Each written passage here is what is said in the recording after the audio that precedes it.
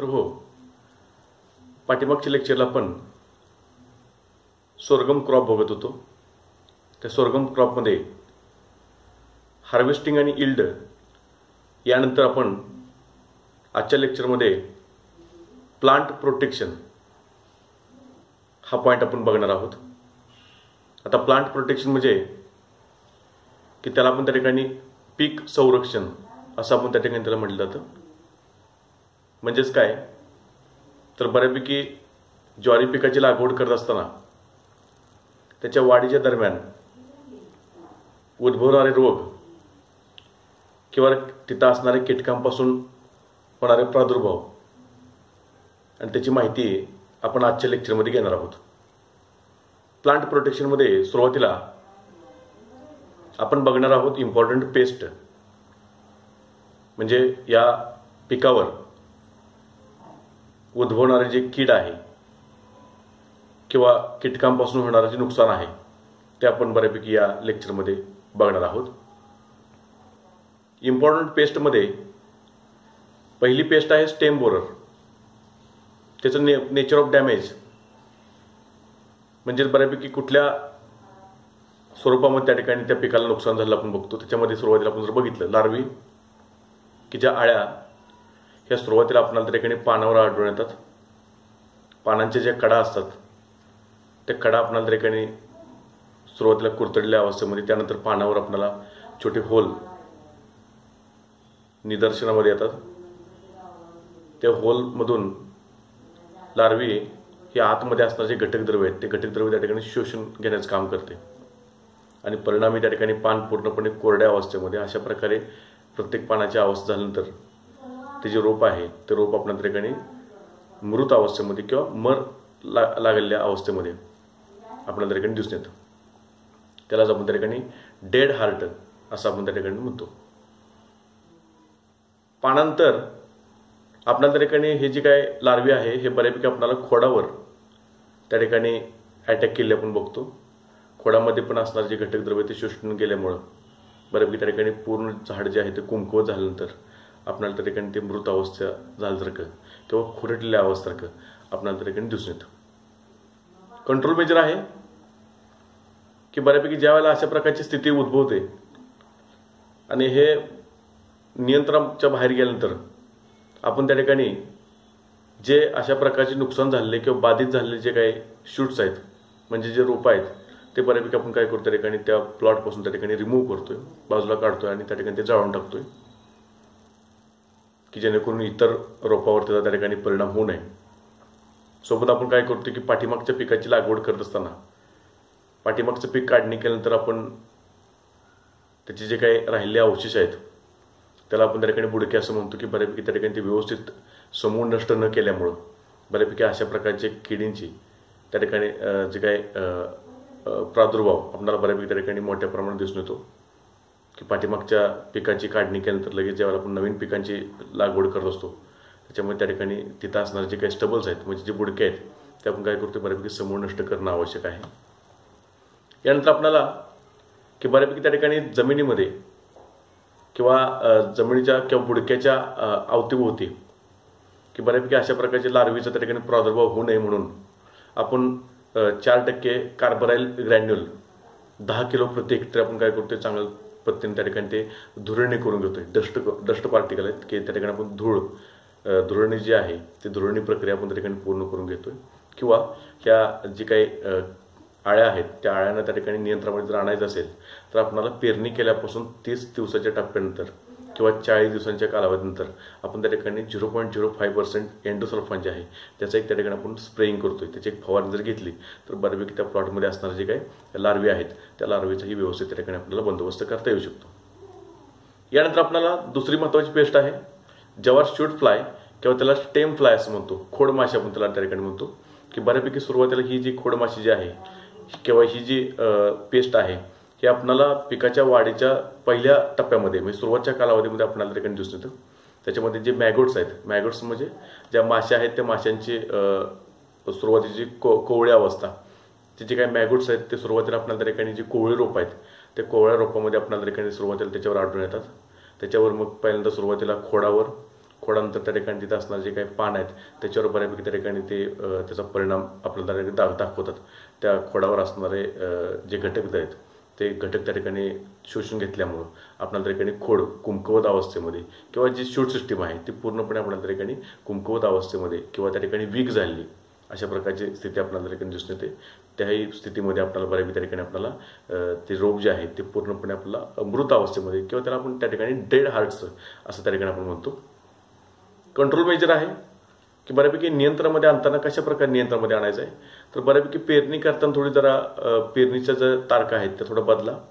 की जेणेकरून जर समजा त्या प्लॉटमध्ये जर वर्षानुवर्षी समजा जर त्या ठिकाणी अशा प्रकारच्या कीड जर त्या ठिकाणी दर वेळेला जर अशा प्रकारचा जर प्रादुर्भाव त्याचा जर आपल्याला दिसत असेल तर पेरणीच्या ज्या तारखा आहेत थोड्या बदलून पेरणी करत असताना दिलेल्या वेळेच्या आधी म्हणजे जवळपास त्या ठिकाणी सात जुलैच्या आधी जर पेरणी प्रक्रिया पूर्ण केली तर आपल्याला त्या ठिकाणी बऱ्यापैकी अशा प्रकारचा प्रादुर्भाव त्या ठिकाणी कमी जाणवला आपण बघतो. समजा यदा कदाचित एवढं करून सुद्धा जर त्या ठिकाणी त्या ठिकाणी जर ही पेस्ट जर उद्भवत असेल किंवा त्या ठिकाणी जर ही आढळून येत असेल तर सुरुवातीला जे अफेक्ट जे प्लांट आहेत म्हणजे ज्याच्यावर बऱ्यापैकी लागण झालेले रोप आहेत ते रोप आपण काय करतो समूळ नष्ट करतो ते जाळून टाकतोय. जर त्या पद्धतीने जर त्या ठिकाणी ते नियंत्रणामध्ये येत नसेल तर दहा टक्के फोरेट ग्रॅन्युअल पंधरा किलो प्रति हेक्टरी आपण काय करतो जमिनीमध्ये पेरणीच्या कालावधीमध्येच त्या ठिकाणी आपण काय करतो बऱ्यापैकी जमिनीमध्ये चांगल्या प्रकारे ते मिश्रित करून घेतोय. किंवा सुरुवातीला आपण ज्या वेगवेगळ्या प्रकारच्या सीड ट्रीटमेंट देत होतो ते सीड ट्रीटमेंट जर तुम्ही देत असाल तर बऱ्यापैकी अशा प्रकारचे काही त्या ठिकाणी जे काही इतर उद्भवणारे रोग असले किंवा कीड हे त्या ठिकाणी आपल्याला उद्भवणार नाहीत. आपल्याला ठिकाणी त्याचा व्यवस्थित बंदोबस्त करता येऊ शकतो.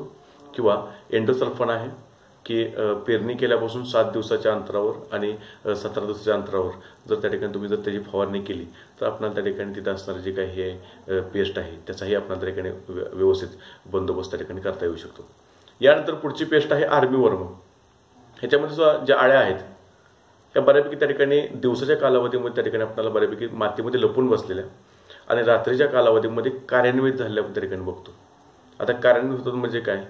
तर रात्रीच्या कालावधीमध्ये त्या ठिकाणी ते बऱ्यापैकी तिथं असणारे पान असतील पानांच्या कडा असतील त्या ठिकाणी ते कुरतडण्याचं काम किंवा त्याच्यामध्ये असणारे घटक द्रव्य त्या ठिकाणी शोषून घ्यायचं काम करतात. अशा परिस्थितीमध्ये की प्र त्या रोपाच्या प्रत्येक पानाची जर त्या ठिकाणी जर अशा प्रकारची स्थिती झाली तर बऱ्यापैकी ते पान आपणाला पूर्णपणे कोमेजल्या अवस्थेमध्ये किंवा आपल्याला त्या ठिकाणी पूर्णपणे गळून पडलेल्या अवस्थेमध्ये आपल्याला त्या ठिकाणी दिसून येतं. हे जर त्या ठिकाणी जर पेस्ट कंट्रोलमध्ये आणायचे असेल तर आपल्याला त्या ठिकाणी नियंत्रणामध्ये आणण्यासाठी आपल्याला एक पॉईंट तीन पर्सेंट लिंडेन पावडर वीस ते पंचवीस किलो प्रति हेक्टर आपण काय करतो बऱ्यापैकी त्याची धुरळणी करून घेतो किंवा की सुरुवातच्या कालावधीमध्ये जर त्या ठिकाणी आपल्याला हे जर त्या ठिकाणी जर आळ्या त्या ठिकाणी त्या आढळून आल्या तर बऱ्यापैकी त्या आळ्यांचे जे अंडे आहेत की जेणेकरून त्या ठिकाणी नवीन जे जीव आहेत त्याची त्या ठिकाणी निर्मिती होण्याच्या आधीच त्या अंडे आपण काय करतो बऱ्यापैकी त्या ठिकाणी डिस्ट्रॉय करतो त्या ठिकाणी समोर त्या ठिकाणी त्या प्लॉटपासून त्या ठिकाणी बाहेर लांब त्या ठिकाणी फेकून देतोय सोबत काय होतं की हे बऱ्यापैकी सुरुवातीला आपण बघितलं की दिवसाच्या कालावधीमध्ये जमीनमध्ये लपून बसले असतात. अशा वेळेला की पाठीमागच्या पिकाची काढणी केल्यानंतर ज्यावेळेला आपण ज्वारी पिकाची लागवड करतो ती पिकाची लागवड करत असताना ज्या मशागत प्रक्रिया आपण देतो त्या मशागत प्रक्रिया देत असताना जर त्या ठिकाणी खोलगट नांगरणी केली तर बऱ्यापैकी जमिनीमध्ये आत लपून बसलेले जे हे कीटक आहेत त्याचाही आपल्याला त्या ठिकाणी व्यवस्थित त्या ठिकाणी बंदोबस्त करता येऊ शकतो. किंवा जर परिस्थिती त्या ठिकाणी जर जास्त जाणवत असेल किंवा त्याचा प्रादुर्भाव मोठ्या प्रमाणात असेल तर आपण zero point zero five percent endosulfan याची जर फवारणी केली तर आपल्याला बऱ्यापैकी त्या ठिकाणी ही जी काही पेस्ट आहे तीही बऱ्यापैकी आपल्याला ठिकाणी नियंत्रणामध्ये आणता येऊ शकते. यानंतरची चौथी पेस्ट आहे मिच फ्लाय की बऱ्यापैकी मिच फ्लाय जी आहे ही बऱ्यापैकी सिरियस पेस्ट आहे. आता ही जी पेस्ट आहे बऱ्यापैकी आपल्याला ज्या हायब्रिड व्हरायटी असतात ह्या हायब्रिड व्हरायटीमध्ये आपल्याला ठिकाणी काय होतं बऱ्यापैकी दिसून येतं.